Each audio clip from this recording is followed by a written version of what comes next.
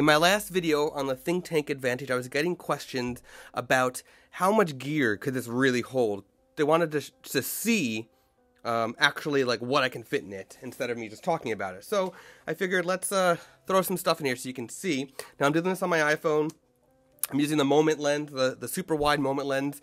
Um, I've got the uh, Zoom IQ7 for the audio and it's facing me, so I got some clear audio on the on the iPhone. Let's just throw everything in here and you can see what's going on. So I got D850 with the 24 to 120 lens on here. Uh, I'm actually going to throw in, there's two ways I can do this. I'm to take this out and I'm going to throw in the Nikon DF. Let's see if this fits right here. If I remove these paddings, if, I, if the lens was attached, which I could do that, if the lens is attached to the, D, to the DF, I could actually get in I'm actually going to attach this real quick. And let's twist this. Actually get this right in here. So now I have the DF and a 70 to 200 f4 lens in there.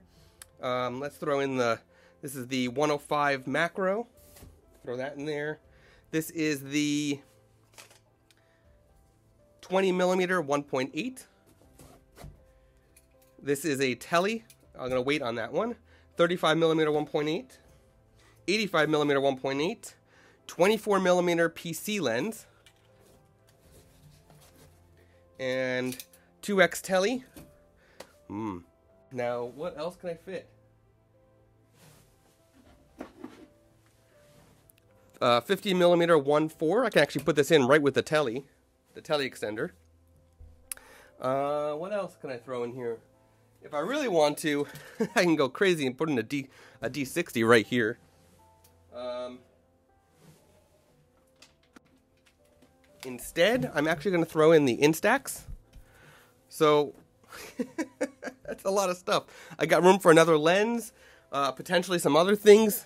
Obviously, I can get the accessories and cables and batteries in there. Um, a lot of stuff, right? There's a lot of stuff right here.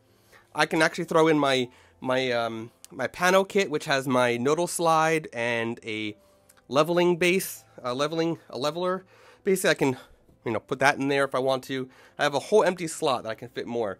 Look at this: two bodies, two main lenses, a bunch of primes, a, a, a tilt shift, a macro, a teleconverter, a 2x teleconverter, in fact, an Instax. So I have three cameras in this. Um, it can fit a lot of stuff. So that's what you can fit in an airport advantage. I can fit even more if I even want to reorganize things. I could probably squeeze in some more stuff.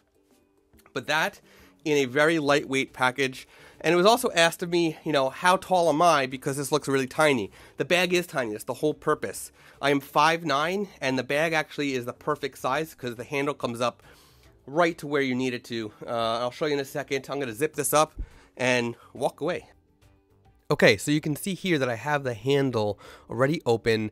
Now I am uh, 5'9", I'm just shy of 6 feet, and the bag is actually much bigger than you might think. It looks tiny when I have it laying on the floor, but uh, you see how much it can hold. So I'm going to walk around and you'll see, you know, it's just actually the perfect size. It, you can just pull it right behind me. It doesn't drag really. It just like, it feels good. It feels natural. So just a quick walk. Don't mind the mess in my studio.